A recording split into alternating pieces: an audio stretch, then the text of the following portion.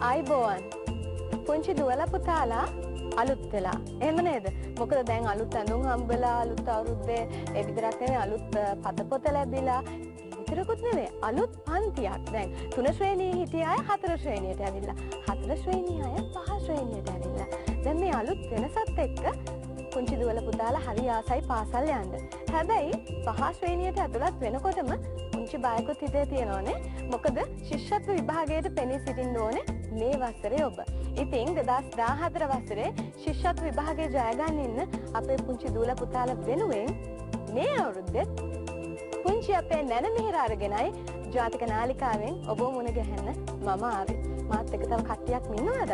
දැන් ඉස්සලාම මතක් කරන්න ඕනේ නැනමිහිරේ ඉතිහාසය. නැනමිහිර කියන්නේ අවුරුදු කිහිපයක්ම පහවසර ශිෂ්‍යත්ව විභාගයේ හොඳින් ජයග්‍රහණය කරන්න අපේ දූල පුතාලට හයියක් දුන්න ලොකු ශක්තියක් දුන්න වැඩසටහනක්. ඉතින් ඒ වගේම මේ වැඩසටහනත් එක්ක අත්වල බැඳගෙන හිටිය අපේ දූල පුතාලට පුළුවන්කම ලැබුණා විවිධ වැඩමුළු වලට සම්බන්ධ වෙන්න. ඒ විතරකුත් නෙවෙයි ප්‍රශ්න පත්‍ර කට ලබාගෙන පෙර පුහුණුව හොඳින් ලබා ගන්නට නැන මිහිරෙන් ලොකු හයියක් ලැබුණා. ඒ විතරකුත් නෙවෙයි අපි මේ නැන මිහිර තුලනේ කතා කරනවානේ ගොඩක් දේවල් පාඩම් කතා කරනවා විවිධ විෂයන් නැත්ත දේවල් කතා කරනවා මේ හැමදේම හුඟක් ලොකු සතුටකින් හුඟක් ලොකු ප්‍රීතියකින් කරගෙන යන්න හැම දෙනාටම කියලා දුන්නේ පුංචි අපේ නැනමිහිරේ නිසා තමයි පුංචි හැම දෙනාම නැනමිහිරට හුඟක් ආදරය කරන්නේ. ඉතින් 2014 වසරේ මුලින්ම අපි නැනමිහිර පටන් ගන්නකොට ඔබට ලස්සන විශේෂාංගයක් දකින්න ඉඩ සලස්වනවා. සාමාන්‍යයෙන් ඒ වගේ විශේෂාංග තියෙන අපේ මැදිරිය තුළමනේ ඒ දුවේ පුතේ මේ විශේෂාංගය මේ බාහිර පටිගත කිරීමක් කරපු විශේෂාංගයක් හරිම ලස්සනයි හරිම වටිනවා. සූර්ය නමස්කාරය පිළිබඳව ඔබ දන්නවා. දැන් හැමෝම මේ යෝගා ව්‍යායාම තුලින් කොහොමද සූර්ය නමස්කාර කරන්නේ කියලත් කතා බහ වෙනවා. ඒ ගැනත් උනන්දුයි. හැබැයි පුංචි දුවේ පුතේ ඔබට තියෙනවා ඔබේ පාඩමට අදාළවම කොහොමද මේ කිරියව කොයි විදිහට දෙන්නේ පළවෙනි ඉරියව්වෙන් පස්සේ දෙවෙනි ඉරියව්ව මොකද්ද මේ මේ විශේෂතා ඔබ මතක තියාගන්න ඕනේ අඳුන ගන්න ඕනේ ඒ නිසාම ඒ අඳුනා ගැනීම පහසු වෙන්න අපි පෙන්නනවා කොහොමද සූර්ය නමස්කාර කරන්න කියලා හරියටම ඔබට පුළුවන් මේක මමත් සමග මමත් සමගම මේ අභ්‍යාසය පුරුදු වෙන්න. හැබැයි මම එක උපදේශයක් දෙනවා. දැන් මේ අභ්‍යාස ක්‍රමය ඔබ අද ඉගෙන ගන්න. හැබැයි අද ඔබ ඉගෙන ගත්තට මදි. මේ අභ්‍යාස ක්‍රමය ඔබ දෛනිකුව හැමදාම උදේට නැකිටලා පුළුවනම් වාර හයක් වාර හයක් මේ අභ්‍යාසය හැමදාම කරන්න. හරි. අපි ඔහොම සිටගන හරි. මමත් එක්ක උසාහ කරන්න කරන්න මේ පාදෙක්ක ලන් කරන්න හරි. බාන පාදෙක ලන් කරාම මේ දෙවිලුඹ දනහිස් එකිනෙක ගෑවෙනවා. පස් මේ කොන්ද හොඳට කෙලින් කරන්නේ. උදරය. බඩ ඇතුළට පපුුව ඉදිරියට. මේ අත් දෙක්ක ඇඟ දෙපස තියලා ඇස්පියාග ඇස්පියාගෙන ඉට පස්සේ මනසින් සිතින් මේ කය සම්පූර්ණය නිදහස් කරන කය සම්පූර්ණය නිදහස් කරන ඕක තමයි සුර නමස්කාර අභ්‍යාස කිරීමේ පළමු පියවරිස්සලා කය සම්පූර්ණය නිදහස් කරනවා. මනස සම්පූර්ණය නිදහස් කරන හරි. තැන් හොමි දලා මේ අදෙක්ක ගේන පපුුව මතට අපි කෙනව නමස්කාර මුද්‍රාවට අදෙක් ගේන. ගෙනල්ලා. තැන් හොඳට නාස්මුක තුළින් හොඳට හුස්ම ගන්න. හරි. හුස්ප අඳවගෙන මේ අදෙක්ක සෙමී නොස්වාන් ඉහල අල්ල ඉදිරියට. තැන් හුස්ප අඳවගෙන සෙමී මේ විදියට පිට පස්සට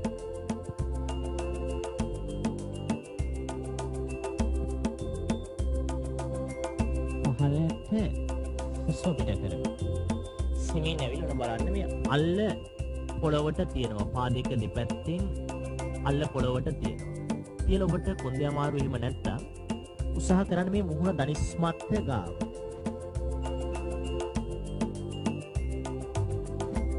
ඊළඟ පියවර මේකට කියනවා දුවන්න සූදානම් විරියාව මෙන්න වම් පාදේ නවල දකුණු පාදය පිටිපස්සට යොමු කරලා බලන්නේ දකුණු පාදය දනි සම්පූර්ණයෙන් දිගාරෙනවා. ල ඉදිරිය බලන්න. බලල නැවත හුස්ම අරගෙන. හොඳට යන මේ පපුුව උදරේ ඇදෙන්න හොඳට යනවා.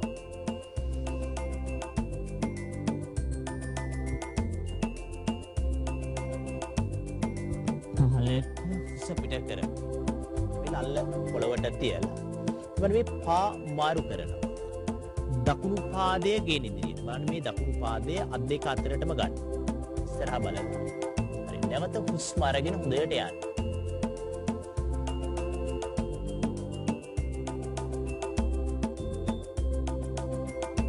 පහළට.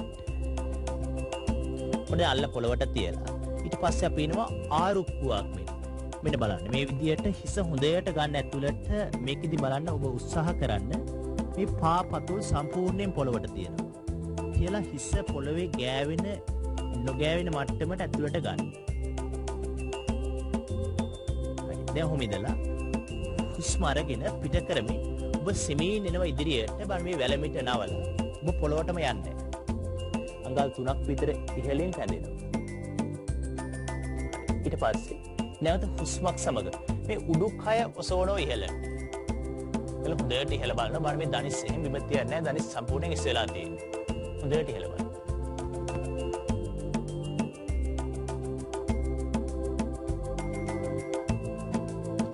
ආරුක්කුවක් මේ නැවත හිස ගන්න ඇතුළ. හොඳට හිස ගන්න. මේක ගොඩාක් මේ මොළයට හදවතට හිතකර අවස්ථාවක්. කුඩි වෙලාවක් හැදේ. ඊට පස්සේ බලන්න. මේ දකුණු පාදයේ ගේන ඉදිරියට.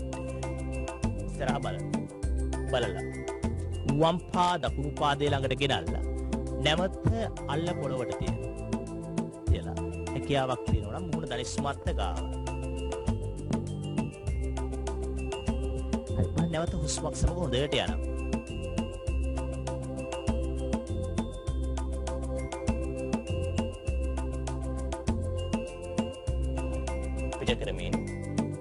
අධ්‍යක්ගේ නෝ පපුුව මතට නමස්කා හරි අපි ඔය එක වටයක් කරෙත් සාමන මේක වාර හයක් කරලා. ඉට පස්සේ බලමින් මේ විදියට මේ විදියට වැතිරෙලා නිදහස් කරන අල්ල උඩට හරවල ස්පයාග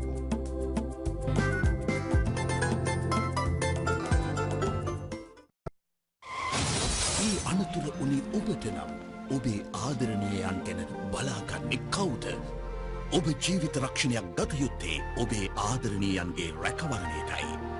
ජීවිත රක්ෂණ සතිය පෙබරවාරි 11 වෙනිදා සිට 17 වෙනිදා දක්වා ජීවිතය ආදරය රැකවරණය සිලින්කු ලයිෆ්.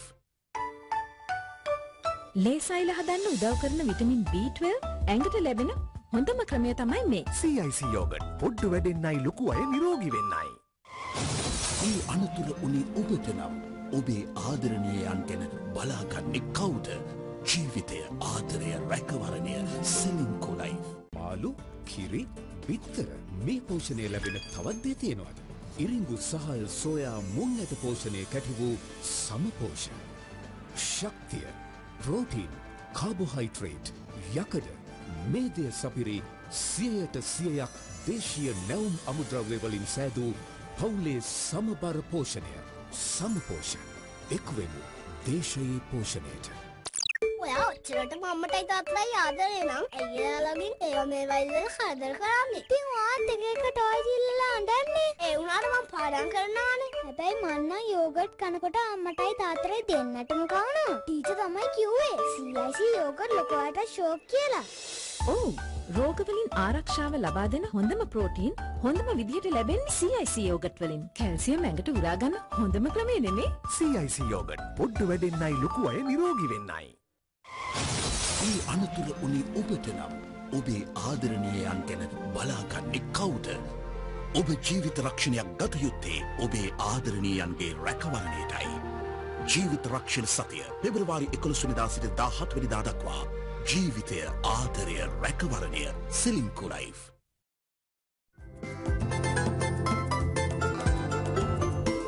හරි දැන් අ, අපි ඒ පුංචි වෙනසත් එක්ක නැවතෙනවා නැදිරියට. පුංචි දුවේ පුතේ මේ දෙදස් දාහතර වසරෙදී නැන මිහිරත් අලුත් වුණා. පරණ ගුරු බෞතුන් අපිත් එක්ක රැඳිලා ඉන්නවා වගේම මේ වසරෙදි අලුත් ගුරු බෞතුනුත් අපිත් එක්ක එකතු වෙනවා. දැන් අද අඳුන්වලා දෙන්න යන්නේ ඒ වගේ ගුරුතුමෙක්.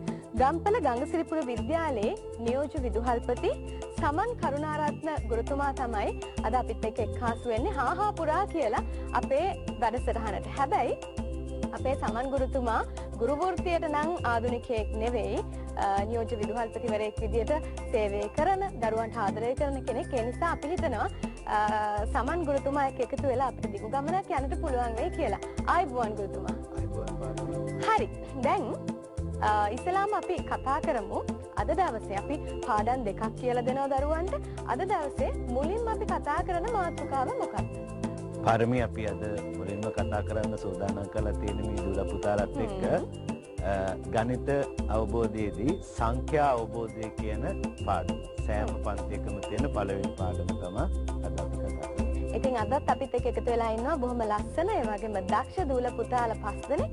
ඒ නිසා අපි සූදානම් වෙනවා මෙන්න මේ කට්ටියවත් එකතු කරගෙන සොයාහන ප්‍රශ්න වලට උත්තර දෙන්න. සොයා ලෑස්තිනේ? මම ලෑස්ති. හරි. අපි එහෙනම් පාඩම පටන් ගමු. හොඳයි. අපි ඔක්කොම එකතු වෙලා එන පාඩම පටන් ගමු. හරි. අ, මුලින්ම අපි පාඩමට අවතීර්ණ වෙන්නේ මේ සංඛ්‍යාවලින් නේද? සංඛ්‍යාවලින් සාමාන්‍යයෙන් අපිට එදිනෙදා ජීවිතයේදී මේ දුල පුතාලා ඔක්කොමලා භාවිතා කරන සංඛ්‍යා විශේෂයක් තියෙනවා. අපි මේ සංඛ්‍යා විශේෂයට කියනවා හින්දු අරාබි ඉලක්කම්. මෙන්න මේ හින්දු අරාබි ඉලක්කම් භාවිතා කරලා තමයි අපි මේ දුල පුතාලාට ඉගෙන කටයුතු කරන්නේ. අපි භාවිතා කරන්නේ මොන ඉලක්කම් සංකේතද කියලා මේ දුල පුතාලා සියලු දෙනාම අවබෝධ කරගන්න. ඒ මොන ඉලක්කම්? හින්දු අරාබි ඉලක්කම් සංකේත. එත් එක්කම අපි මේ දූල පුතාලට උගන්නනවා රෝම සංඛ්‍යා ඉලක්කම් සංකේත. වර්ග දෙකක් ගන්නනවා. එතකොට මේ දූල පුතාලා දන්නවා හින්දු අරාබි ඉලක්කම් සංකේත 10ක් තියෙනවා කියලා. කීයක් තියෙනවද දුවේ පුතේ? 10ක් තියෙනවා. ඒ 10 තමයි මොනවාද? බිංදුව 1 2 3 4 5 6 7 8 9 10 දහයක් තියෙනවද? නෑ. එහෙනම් 9න් අපි මොකද ගන්නෙ? නවත්වනවා නේ? 9න් නවත්වනවා. අපි ආයෙත්ම බිංදුව 1 2 3 4 5 6 7 8 9 කොහොම හොඳයි. මේ කට්ටිය දන්න. ඒත් එක්කම අපිට පුළුවන්කම තියෙන පාරමී රෝම සංඛ්‍යා සංකේත ගන්නවා අපි. රෝම සංඛ්‍යා සංකේත කීයක් තියෙනවද පුතේ? කීයක් තියෙනවද? හතක්. ඒ හතෙන් මේ චූටි දූල පුතාලට අපි උගන්වන්නේ පාරමී දැනට රෝම සංඛ්‍යා තුනක් පිළිබඳ. ඒ මොනවද? ඒ තුන තමයි I V X. මොකක්ද දුවේ පුතේ? I V X. මෙන්න මේ පාරමී මේ සංකේත භාවිතා කරලා අපි. ඊට පස්සේ සංඛ්‍යා ලියන්න පටන් ගන්නවා. සංඛ්‍යා ලියන්නට පටන් ගන්නවා මේ සංකේත භාවිතා කරලා. එතකොට දූල පුතාලා දන්නවා චූටි පන්තියේ ඉඳලම උගන්වලා තියෙනවා සංඛ්‍යාවක හඳුනා ගන්න ඕන ලක්ෂණ දෙකක් තියෙනවා. මොකද දුවේ පුතේ ලක්ෂණ දෙක? කියන්න බලන්න මම දිනිති දුව කියන්න බලන්න හයි. සංඛ්‍යාංකය සහ සංඛ්‍යා නාමය. බොහොම හොඳයි. සංඛ්‍යාංකය සහ සංඛ්‍යා නාමය. හේෂාන් පුතාට කියන්න පුළුවන්ද මොකද්ද සංඛ්‍යාංකය කියන්නේ. බොහොම හොඳයි. සංඛ්‍යාවක් ඉලක්කමෙන් ලියනවට තමයි පාරමී අපි සංඛ්‍යාංකය කියලා කියන්නේ. ඒත් එක්කම තියෙනවා දැන් අපිට උදාහරණයක් හැටියට බලන්න පුළුවන් සංඛ්‍යාංක කියන්නේ සංඛ්‍යාවක් කොහොමද ලියලා තියෙන්නේ කියලා. ඒත් එක්කම පාරමී සංඛ්‍යා නාමය කියලා වචනයක් අපිට හඳුනා ගන්නට පුළුවන්කම තියෙනවා. සංඛ්‍යා නාමය කියලා කියන්නේ පුළුවන් ද හේෂානිට කියන්නේ මොකද්ද සංඛ්‍යා නාමය කියන්නේ? බොහොම හොඳයි. සංඛ්‍යාවක් අකුරෙන් ලියනවට තමයි අපි සංඛ්‍යා නාමය කියලා කියන්නේ. එතකොට මේ සංඛ්‍යා මේ විදිහට ලියනකොට මේ තියෙන උදාහරණ අපිට මේ විදිහට සංඛ්‍යා නාම බලන්නට පුළුවන්කම තියෙනවා. දැන් ඔබට ගෙදර ඉඳලා ජාතික නාලිකාවත් එක්ක එකතු වෙන පුංචි දූල පුතාලාට බොහොම පැහැදිලි තිරේ දිස් වෙනවා. කොහොමද ඊට තියෙන උදාහරණ? සංඛ්‍යා නාමය කියන්නේ මොකක්ද කියලා. අපි මීළඟට කැමැත්තෙන් ඉන්න පාරමී අද මේ දූල පුතාලාට උගන්වන්න මේ සංඛ්‍යාවක් ලියනවත් එක්කම සංඛ්‍යාවක ඉලක්කම් පිහිටි ස්ථාන පිළිබඳ. ස්ථාන වගේම ස්ථානීය අගය පිළිබඳ මේ දූල පුතාලා හඳුනා ගන්න. දැන් එහෙම කිව්වහම සර් චුට්ටක් බර වැඩිනේ දරුවන්ට. මොකද්ද මේ ස්ථානීය අගය ස්ථානය මොකද්ද?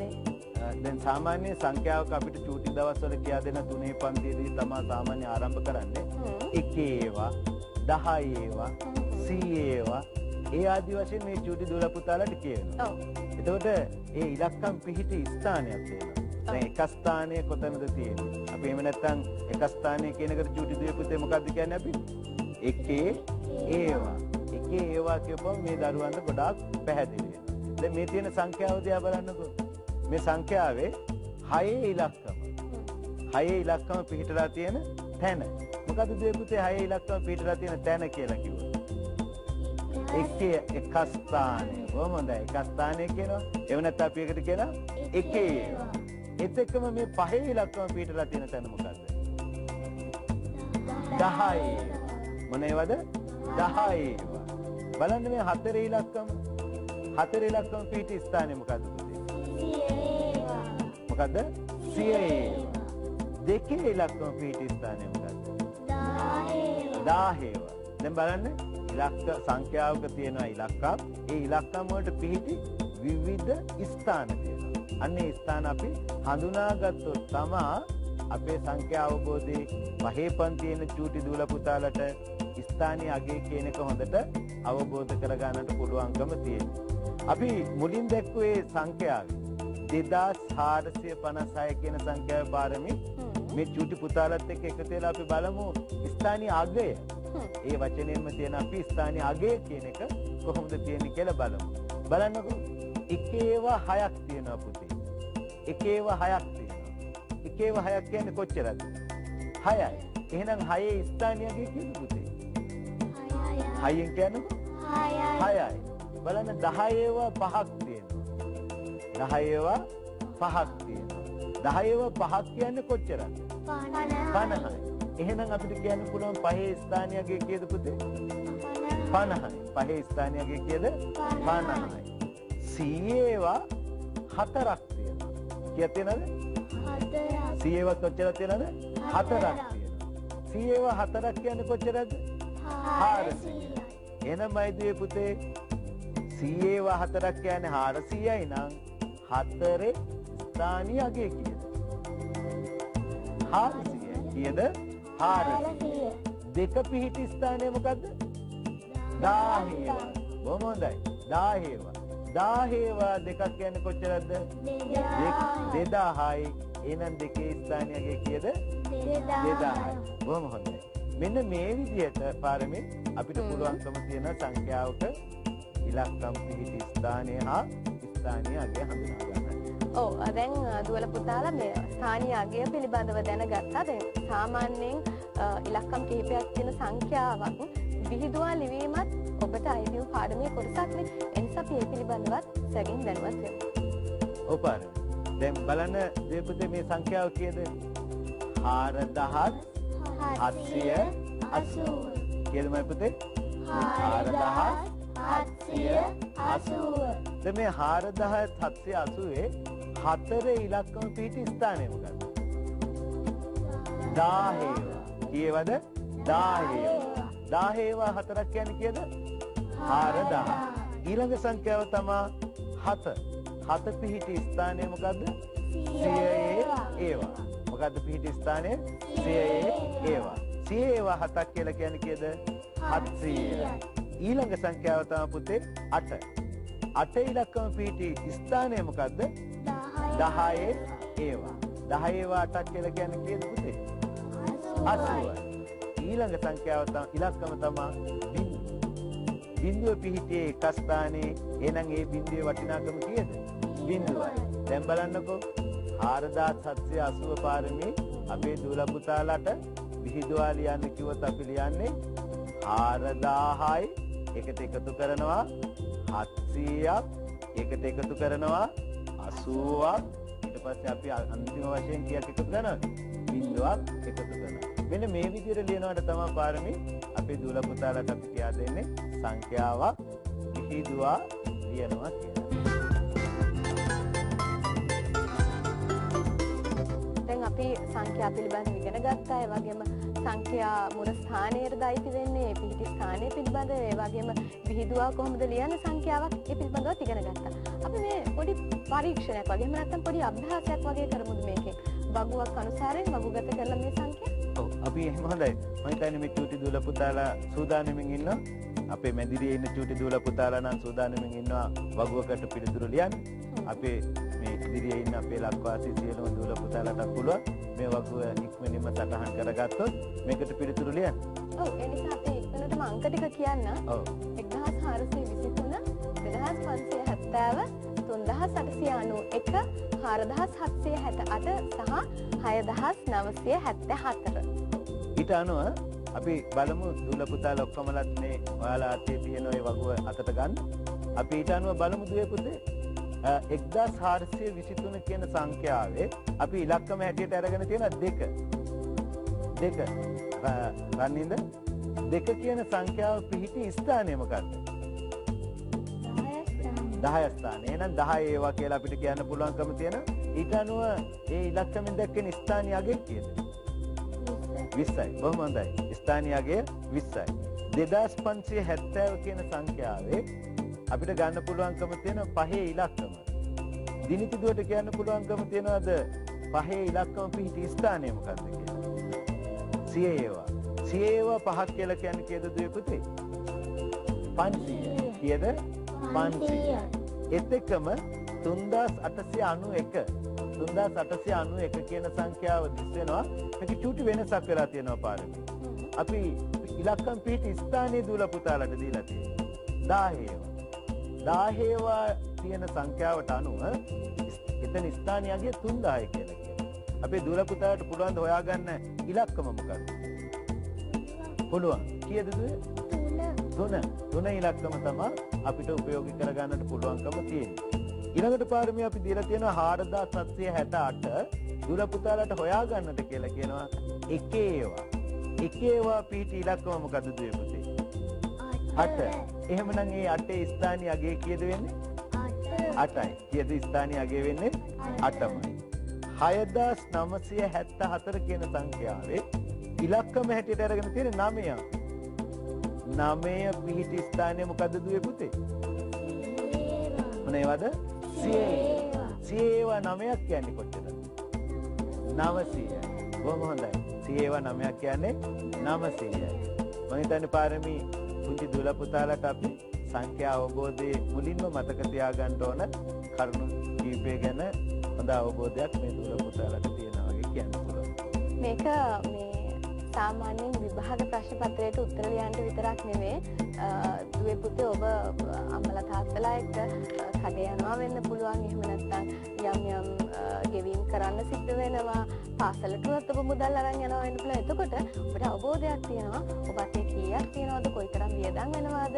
අ, මොකද සමහර වෙලාවට සේ නෝට්ටුවක් අ, පෙන්නුවාට අපේ පුංචිම දරුවන්ට දන්නේ නැහැ මේකේ වටිනාකම මොකක්ද කියලා. නමුත් ඔබ ක්‍රමක්‍රමයෙන් විවිධ ශ්‍රේණි වලට එනකොට ඔබ මේ පිළිබඳව අවබෝධයක් ලබා ගන්නවා. ඉතින් ඒ අවබෝධය ප්‍රායෝගිකව අවශ්‍යයි වගේම නිදැනුම අවශ්‍යයි විභාග ප්‍රශ්න පත්‍රයට උත්තර ලියන්නත්. ඒ නිසා අපි හිතනවා අ, මේ අලුත්ම පාඩම අපිට වෙනසක් ඇති කරන්න ඇති කියලා. දැන මිහිරට හාහා පුරා කියලා සම්බන්ධ වුණු සමන් කරුණාරත්න ගුරුතුමාට බෙහෙවින්ම ස්තුතිවන්ත වෙනවා. අ, බොහොම පැහැදිලිව මේ සංඛ්‍යා පිළිබඳව අපිට කියලා දුන්නට පුංචි ළමයි බොහොම සතුටින් හොඳින් දක්ෂ විදිහට ඒවට උත්තර දුන්නා. ඒ නිසා අපි නැවත මුණ ගැහැමු. අද සංඛ්‍යා පිළිබඳව කතා කරා වගේම තවත් දවසක තවත් පාඩමකින් ආයිබෝවන්. ආයිබෝවන් පාරමී. ආයිබෝවන් මේ චූටි දුල පුතාලත් සියලු දෙනාට. ආයිබෝවන්